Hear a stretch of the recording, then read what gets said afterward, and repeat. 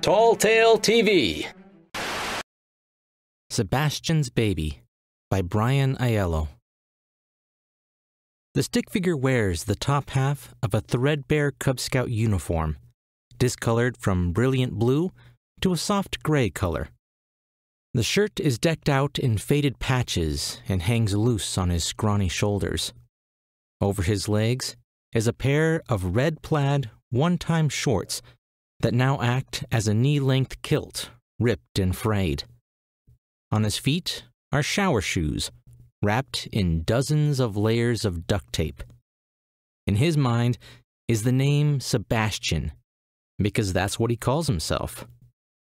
He scurries, bow legged, from one burned out hulk of a car to the next. He has an old stun gun in his hand as he approaches a terrier sized worm glowing a neon green in the dusky daylight. The adult of the species is poisonous. The eggs she protects are not. He fires. The worms aren't dangerous unless they can get an appendage into their yawning, teeth lined maws. That only happens if they happen upon a sleeping victim. Otherwise, simply running away would keep him safe. But that's not necessary this time. The electric shock makes this one forget its maternal instincts long enough to grab a few eggs and hobble to safety. The eggs go bad fast without the mother to tend to them, but they'll make it through the day at least. Once far enough away and hidden to satisfy the creepy crawlies doing the tap dance on his spine, he lifts the tinted ski goggles from his eyes and peers into a sky the color of mud. Dried mud, he decides. Dried, dusty mud. Mud that wishes one day to be mud again, but doubtful it ever would. The sky looks clogged, like it could rain or fall to the ground in chunks, or do anything other than just look like coffee with a dollop of fresh cream needing to be stirred. It's getting to be about noon. Plenty of time to eat and decide what next? He is a day to day type guy. It does no good to complain. It's a day like yesterday, and the day before that, and the day before that. Maybe it's been decades, or centuries, or forever since the whatever happened. Maybe the sky was never blue, and the air never got cold, Maybe life was always this steamy, hot, bleak emptiness surrounded by buildings that once stood tall and now crumbled more and more each day from the black bricks into gray dust. Sebastian isn't sure. Sebastian lowers the eyewear back down because looking up too long is like bee stings on his sinuses. He lives in a landscape of million dollar buildings reduced to nine figure tombstones. And here, in what remains of his city, a place he thinks he once called New York, he is a master of survival. And survival means looking at the sky occasionally. He sticks his hand into the large, semi transparent green sack and pulls a fistful of slimy resin from his worm egg breakfast. Maybe scientifically they aren't worms, but something else. Sebastian is no scientist, though he doesn't really know what he is anymore, or what he once was, if anything. He places the green egg resin in his mouth and slurps on his fingers, watching for the mom's return. The smell of the worm's burned flesh lingers still in the air like melting rubber and smoldering hair, and a thought strikes him. Do you remember birds? he says out loud. Oh, God, chicken, so crispy, so greasy, so salty, so good, he answers himself in a higher voice. Do you think anything left tastes like chicken? No, but maybe good and meaty. Maybe we go down in the subway again. Sebastian cringes, flexing what remains of his mangled left hand. No, baby, we can't. Sebastian is missing three fingers the pinky, ring, and middle. Don't be a pussy. If it weren't for baby, he knows he would have died. She cared for him, made him drink, foraged food. When the fever passed, she stayed with him. He has no clue how long it's been. They are together forever now. It's a constant promise she makes him. He doesn't want to let her down, disappoint her, give her a reason to leave him. He needs her. If that's really what you want, he sighs. Lately, her requests were getting more and more dangerous. Climb to the top of that crumbling building. Sneak into that encampment of survivors and steal some power. Sing for me. Sing louder. Sing like your life depends on it. And he does it all. Every single time. And today, he is going to crawl back down into the tunnel that almost cost him his life because she demands it. He returns the stunner to his pack and hoists the 75 pound ruck onto his shoulders. It jingles and jangles as he gets his balance and turns to point himself in the direction of the 95th and Broadway subway entrance, one of the few that is still accessible. He takes his first step and his knees buckle. The first few steps starting out are the most painful. He feels old He's forgotten how old. This is a world without dates. Long ago, he stopped remembering to celebrate his birthday. He knows when Baby's is, though November 1st. It's the date the last newspaper reads in every dispenser in the city. November 1st, 2020. President calls for peace, the headline says. It's the same news every day on every paper he finds. He can only hope, in some reality, that the president found his peace. Once in a while, he guesses when it might be November 1st, and he builds baby a fire, and he makes a feast of cooked food. It's the only day he allows himself the luxury. The world, otherwise, is too dangerous a place to do it more often. Cooked food usually a trapped rodent, sometimes a steamed worm. Either tastes horrible. In the beginning, when he made it back to the surface, there were fires dangerously sprouting from melting metal and filled with poisonous chemicals. The sky will probably stink like that forever. Those that did not die from what fell from the sky died pretty quickly because of the smoke, and those that survived the smoke perished from the cancerous growths that sprung up later, and those that lived long enough with cancer usually got eaten by something. Sebastian suspects the growing lump on his side is cancerous, but his feelings are if he doesn't bother it, it won't bother him.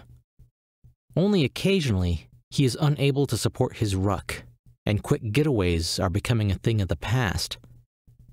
The closer he gets to the entrance to the subway, the more his injured hand throbs. He shakes it to rid the appendage of pain. It only makes the missing digits ache more, as if the closer he gets to where he lost them, the more he feels their misery. He doesn't remember what took his fingers. His only memory of that day is waking up in a camp alone. He was no longer underground. A small fire was burning. Across from him was Baby. On the street, he could hear the howls of the mutated dogs. Some would have said he was crazy before the whole thing started. He doesn't know how it all happened, or he doesn't remember, or he blocked it all out. One moment, things were one way and the next, most people were dead and animals were different. Not all of the animals, though, just some. Insects and invertebrates changed. They grew larger and braver and hungrier. Dogs grew scales and sprouted spikes where they once grew hair. It was easy to dream about their blood red eyes. He never felt safe. He felt followed every second of every day. He learned to hide and scurry like a cockroach. He reaches the entrance to the tunnel to the subway and slips his shoulders from the straps of his bag. The heavy ruck slumps to the ground with a clang of metal, in addition to the horrible sound of ripping fabric. He's afraid to look. If the bag is ruined, he doesn't know what he will do. It holds everything he needs to survive.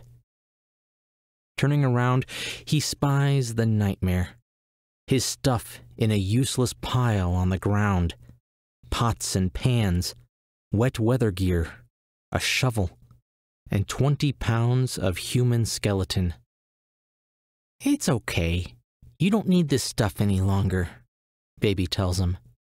All you need is me. He walks over to the skeleton and lifts it up.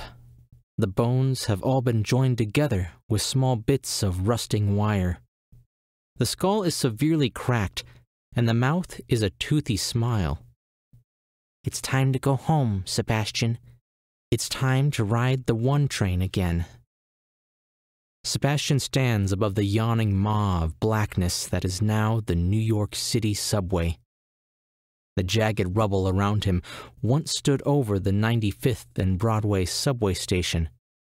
The street and building ripple back in a Bilbao esque pile of asphalt. The underground entrance was built in the middle of Broadway during the first part of the 21st century. It was a rounded glass roof with brass accents. The whole thing sat on huge cemented girders as if the architect knew something was coming and was preparing a place for people to go and be safe. It did not work. Nowhere was safe. Many New Yorkers died here that day. In matters of numbers, many people died everywhere that day. Those on the surface of the planet, in many places, just melted into shadow scarred cement. Those underground found out the hard way what monsters they would become when pushed. Those that were already monsters thrived the best. Sebastian does not hold a grudge against any of them, but has trouble recalling which he was monster or person pushed. Baby is draped over his shoulders like a cape. He gently rubs at the hand gripping him tight around the throat. Baby tightens her hand in response, and he coughs. When his Adam's apple moves, he can feel many of the specific 27 bones he tied together with scraps of wire. It helps remind him he's one of the lucky. It's an easy thing to forget. On the day everything changed, this place was probably crowded and busy. Typically, he never noticed it when he used it. If he did, those memories are now mixed with this hell.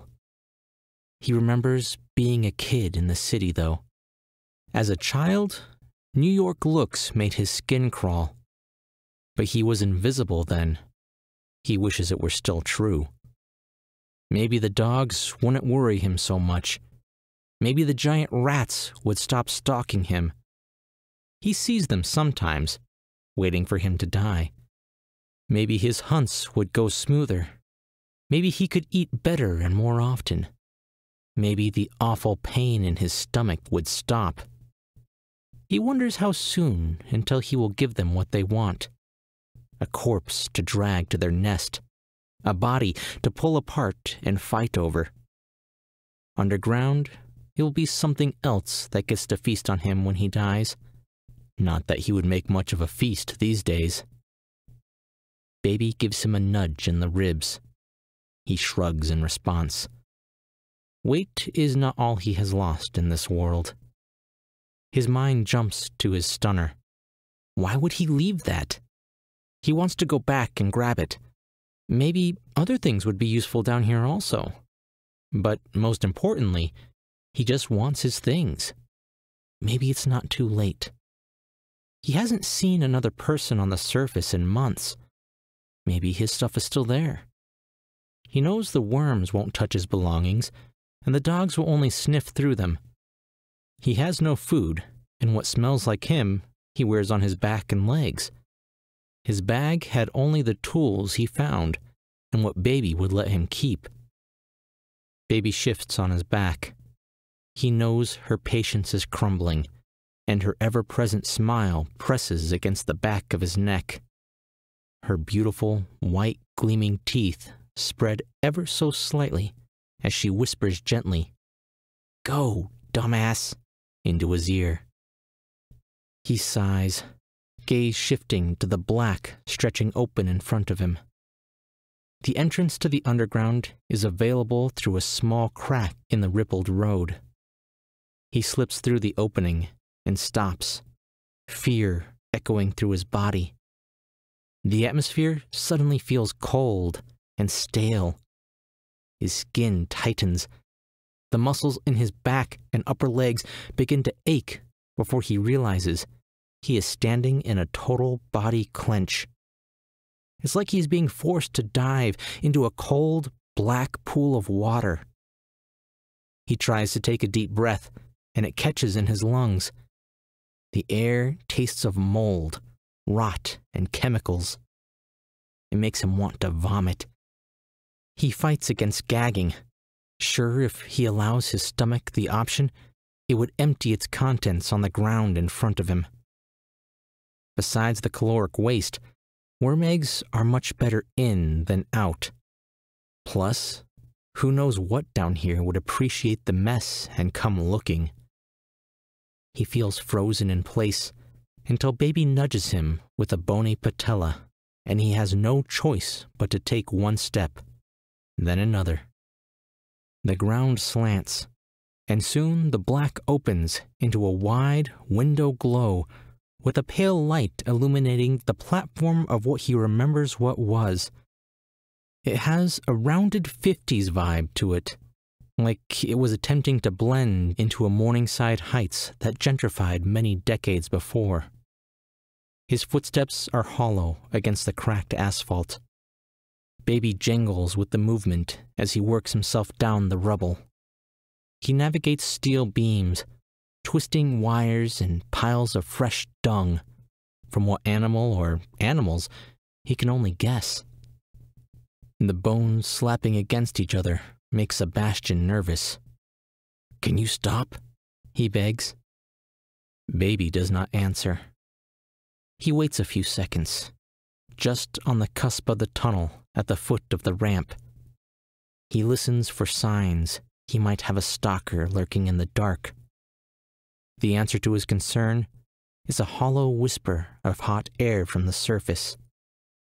If a predator awaits him in the dark, it does so completely silent. Go! Baby demands with a sharp command. Startled, he pushes into the blackness in front of him. Within moments, he is swallowed by the pitch and the sound of his tape wrapped feet hitting the naked, dust covered beams between the rails are impossible to quiet. He stops, aware of his breath and the sound of his heart beating inside his chest as he makes his way south, trying to escape the sense of stupidity of being down here. I don't think this is wise, baby, he whispers in a quiet hiss. No one asked you, Baby's voice says back, unconcerned for silence. Just go, you fucking pussy. He wants to argue, but he knows it's useless. Baby always wins. So he takes another step, followed by another, then a third, and before long, his eyes have adjusted to the dark, and he can easily navigate the rusting and useless lines of track and tented beams holding up the street above. He hears the click of claws on the broken cement ground, the shuffling of dust and debris.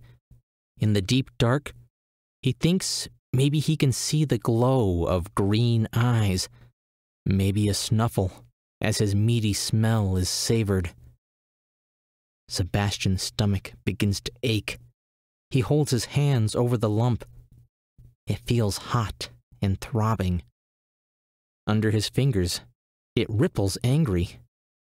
Then he is sure it does, like a mouth stretching with a yawn. Baby nudges him in the thighs with her heels. The bones are sharp and dig perfectly at the soft spot in front of his hips. He feels like neighing in response, but this isn't the time or the place for a joke.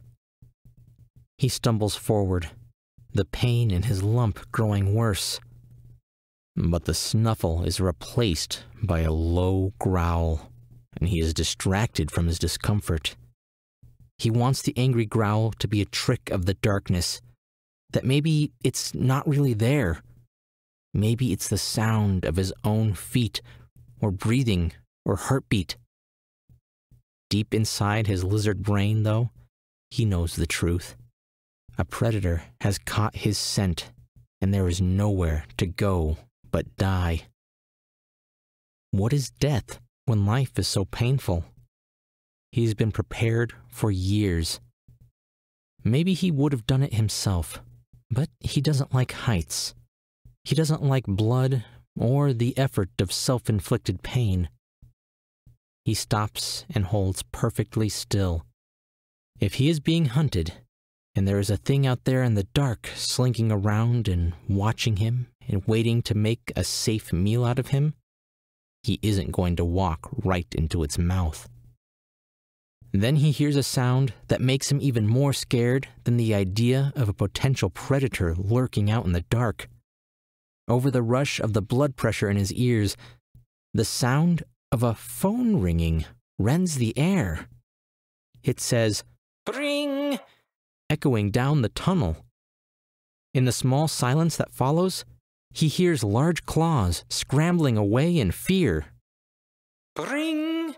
The phone brays again. He looks off into the dark and thinks he sees where the noise is coming from. Tripping over the stones and cracks and rubbish by his feet, he scrambles into the black of the underground. Bring! It calls. And he runs. His side splits open in a pain more intense than anything he has ever felt in his life. His shirt is soaked with sticky blood and pus. Bring! The phone screams as dust and cobwebs fall from the wood beams above, and viscera pours from his wound. Bring! The phone punishes with sound vibrating the world, shaking existence, rending reality. He stumbles out of the tunnel. The sight of the 86th Street platform never looked so good. He climbs up and falls to his knees as he gets closer to the phone booth and crawls the remaining few feet. The booth is an ancient one, like the kind that would stand on old New York City street corners before being replaced by information and charging kiosks the ones that, at one point, were everywhere, but eventually dwindled down to a few broken down standalones with small walls separating banks of three. It was a law, or something, that dictated there must be payphones available. Sebastian never had anyone to call, so he never used them. Rumor was they never worked. Bring the phone screams into the dark as he nears the upside down relic. Twists of long, thick wires stretch from the top like an uprooted tree system. He climbs up onto the platform three feet up and spots the phone receiver shimmying in the dirt with each new ring. He crawls over and picks it up. A long, snaking metal cord hangs from the end brushing loose against the ground. Ring! The ringing is louder with the receiver in his hand. It vibrates painfully against the flesh of his palm. He holds it to his ear. The plastic is cold. It feels wet and dusty at the same time. He doesn't hear any sound coming from the thing and thinks to put it down, and continue on this insane underground mission Baby has sent them on. Bring! It screams into his ear. Jesus! Fuck me! What? He yells into the receiver. Hello! I am calling on behalf of home security experts. May I speak to Sebastian, please?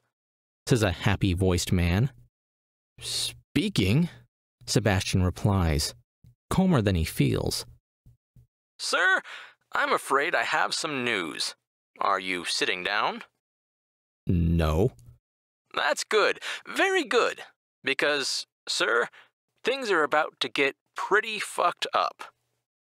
On cue, a train whistles from deep in the tunnel.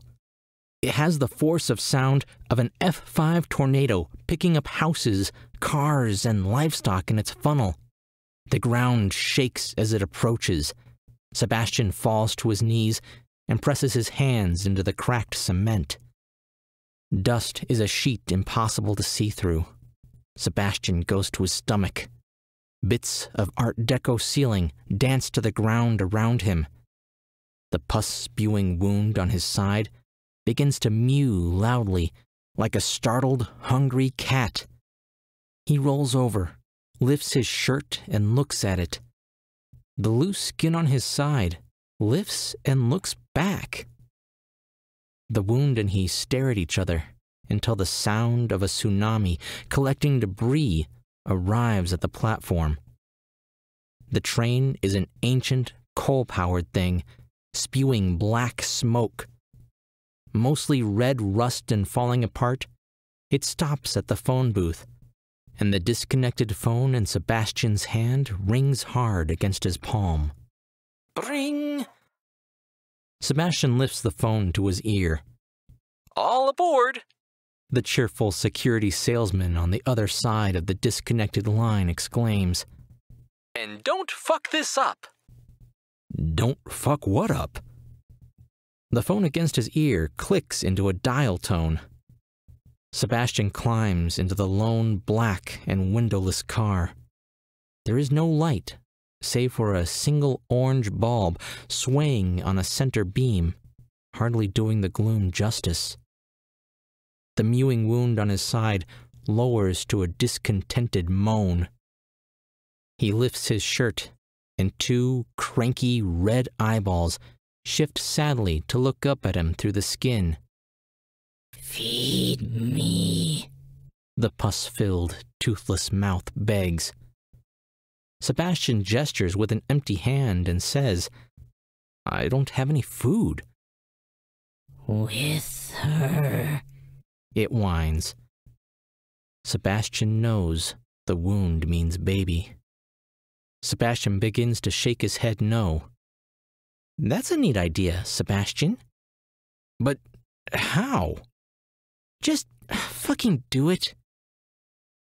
As he does, finger by finger, he feeds the bones into the wound on his side, surprised at the lack of pain surprised at how much the wound can eat. He starts by unwinding the twists of wire around baby's fingers. That's very good. Do you remember when we met? Sebastian thinks as he shoves the distal phalange of baby's little finger into the mouth stretching away from his side, like a seal begging for a fish at a sea park. Here, in the dark, you saved me. No, you stupid dick. Here in the dark, we were hunted down, almost eaten by a fat Wall Street banker. You ambushed him. You saved me. We ate him for a month. Sebastian stops working the wire on the intermediate phalange, and the wound begins to scream again. He was quite delicious. The scream bounces around the inside of the train car. The sound vibrates his skull. He works the wires faster. Feeding the wound one bone at a time feels stupid, so he moves to the wrist and begins to unwind the wire there. No, you stupid putz! One bone at a time. Sebastian sighs and goes back to the fingers. It was a glorious battle, ours. I don't remember much anymore, he whines. Stop being a bitch. The train picks up speed. It rounds a corner, going on two wheels and spitting sparks before slamming down again. Sebastian loses touch with gravity, floating briefly before slamming back down. Once connected to the earth again, he finds he has fed the left hand to the mouth and begins working on the right. Then things changed, huh? Out of the dark, a giant rodent attacked. It was the size of a damn German shepherd with nasty brown and rotting front teeth. I could smell it first. It smelled of piss, rotting meat, and mold. Sebastian vaguely remembers the sound of long claws scratching at the cement in a hurry to get at her. Or it was a nightmare. The creature attacked. One minute, he was a starving refugee, scared in the dark, huddled, afraid, trying to be invisible. And in the next, he was beating a thing to death with his bare hands, fighting for his life. Sebastian screams. He was feeding his wound absent mindedly and stuck his own hand too deep, and the thing chomped down surprisingly hard. He felt sharp, hard teeth deep inside. He pulls his hand out, thankful the wound did not break skin. It took a chunk of you, but we beat it off. Got me too. You got sick, and I nursed you back. That's when I found a way out on 95th Street. The surface wasn't much better, just brighter. What's that they say about hell? Don't matter what level you on, it's still hell. The train moves faster and faster, throwing Sebastian around, but he manages to finish feeding the wound. Just the pelvis and the skull are left. Toss the hip, keep the head, Baby demands. I've got more to say. He does.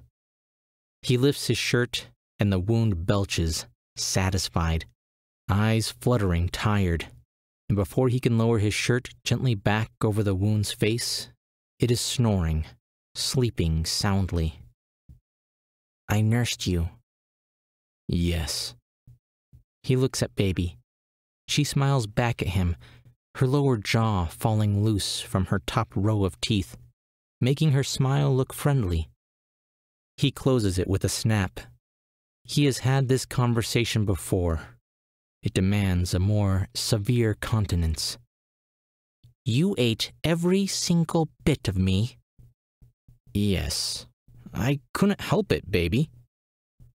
What if I told you that you could make it up to me? In a heartbeat. And, as if on cue, the phone that had been slamming around the metal box car skids to a stop next to Sebastian's knee and rings. Ring! Hello? Hey, this is Home Security Experts again. I just wanted to let you know that we have arrived at our destination, and you should prepare for impact. Thank you for going batshit crazy with us. Impact? Hello? dial tone. And the impact is painful. Sebastian and Baby Skull slam up against the front of the car. The walls buckle and the wound begins to cry, all in one startling moment. Sebastian moves, gingerly at first, but the surrounding sounds confuse him. Crashing waves of water vibrate the air. He smells clean wind not a thick hotness that slides down his throat and burns his lungs. The door to the train car is open. He steps out onto a white, sandy beach, looking onto a stretch of greenish blue water. He looks up, and the sky is not mud. It's not blue either, but it has potential. It's a small oasis, Baby says. Around them is hell. But here are birds. They squawk and swoop. He turns. There are trees with leaves and a breeze from the sea. A smile stretches his lips. He turns again. Behind him is the city, a black smear, a moment in history, a something that, even if it wanted, couldn't be ever again. And maybe he can never be again either. He places his hand on the wound, and it is back to being just a painful lump. He feels the weight of baby's skull in his hands. He lifts her up and peers into her deep, black eyes. I don't deserve this. Her jaw falls open, as wide as it ever has. Don't be a pussy. Sebastian's Baby was written by Bryan Aiello. Bryan is an Army vet, husband, and father of twins. He is currently working on his next novel, a dystopian science fiction space opera. His urban fantasy novel, Compounded Interest, can be purchased on Amazon. Links in the description. Bryan also hosts the podcasts Origin, Stories on Creativity, and Mirage, speculating on speculative fiction. You can find his podcasts on his YouTube channel, youtube.com slash user slash frogger65, or his website. Both are also available on iTunes, Stitcher, and other fine podcast aggregates. Check out more of his fiction at www.bryanaiello.com and follow him on Twitter at Bry. Hey guys. So, if you haven't checked out Bryan Aiello's podcasts yet, they are pretty awesome. I've had the chance to be a guest several times, and we just got finished recording another episode where we discuss the author Piers Anthony. He has tons of episodes interviewing authors and creators about their projects, discussing the ins and outs of famous wordsmiths and lots of conversations that go in directions you wouldn't expect. It's worth checking out. Thanks for listening. I'm Chris Herron, and that's it for today's Tall Tale TV.